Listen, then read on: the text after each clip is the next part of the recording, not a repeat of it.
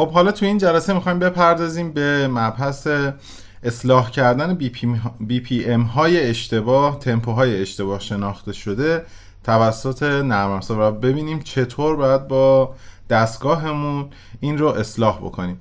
این رو خدمتتون عرض بکنم که من توی پکیج قبلی کامل با نرم افزار بهتون توضیح داده بودم که چه کاری رو باید انجام بدیم حالا الان میریم ببینیم با دستگاهمون باید چه کار بکنیم. من یه دونه ترک انتخاب کردم برای شما روی دسکتاپ کامپیوتر. خب.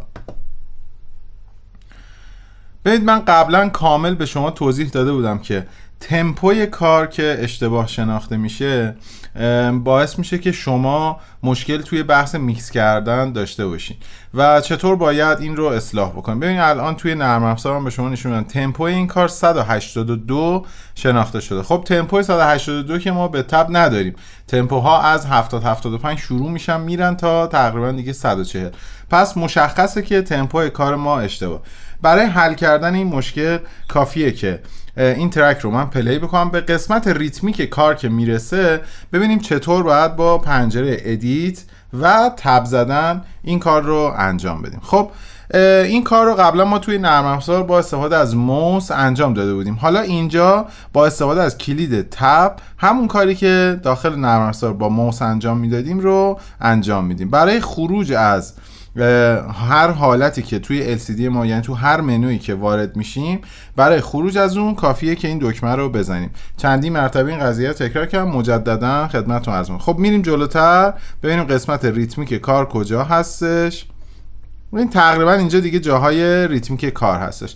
اگر دقت بکنید سرزرب ها رو نرم افزار اصلا اشتباه شناسایی کرده. اگر این کار رو من سینک بکنم با توجه به اینکه تمپو 128 هستش و بعد ریتم تندی داشته باشه چون که نرم افزار این رو 182 شناخته من اگر سینکش بکنم تمپو کار به هم میریزه. یک مرتبه چک می‌کنم ببینید.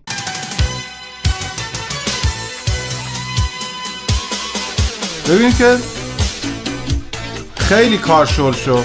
خب این درست نیستش.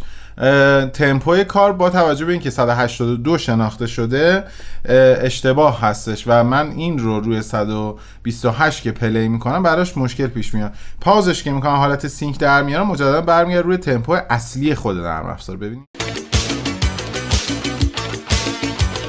خب من اگر بخوام تمپو این رو اصلاح بکنم و برم داخل edit زمانی که در حال play شدن هستش tap رو بزنم. ببینید من در حالت play یک مرتبه میام عقبتر. از جایی که ریتم شروع میشه وارد ادیت میشم و شروع می‌کنم به تب زدن.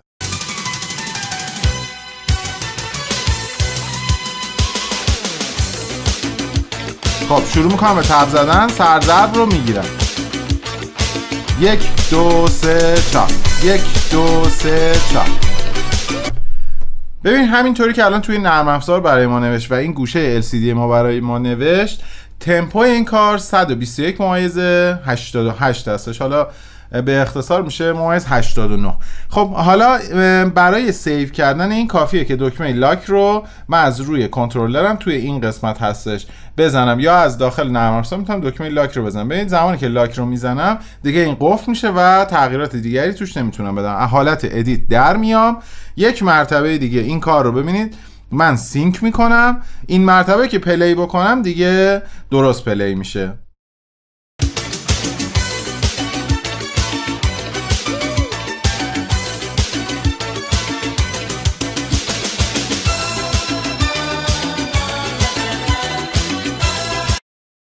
خب با توجه به اینکه تمپوی کار ما اشتباه بود و اصلاحش کردیم الان دیگه اگر با کار من sync ش بکنم با تمپو 128 چون که تمپو کار 121 هستش یه مقدار ریتمش تندتر میشه. تقریبا مثبت 5 5 6 درصد این کار تمپوش بیشتر میشه و تندتر میشه. یک مرتبه حالت اصلیش رو play می‌کنم بعد sync ش می‌کنم شما ببین.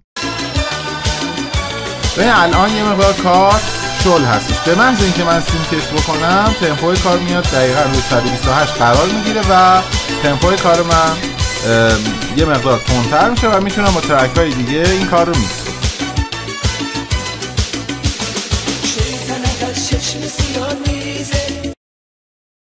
خب این روش اصلاح کردن سریع هر track به واسطه کنترلرمون هستش که خیلی هم کارایی داره. یه زمانی هست مثلا شما توی برنامه live ی هستین یه track رو از قبل آنالیزش نکردین. تو هدفونتون گوش می‌کنین ببینید تمپو اون کار اشتباهه یا نرم چک می‌کنین تمپو اون کار اشتباهه.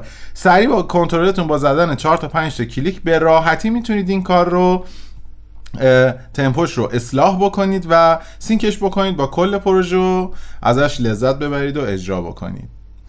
خب توی جلسه بعدی ما می‌پردازیم به ساختن remix deck ها و ببینیم چطور یه remix deck رو می‌تونیم بسازیم و از ازش توی بحث میکسمون استفاده بکنیم تا بتونیم میکس های بهتری توی برنامه های live مون داشته باشیم.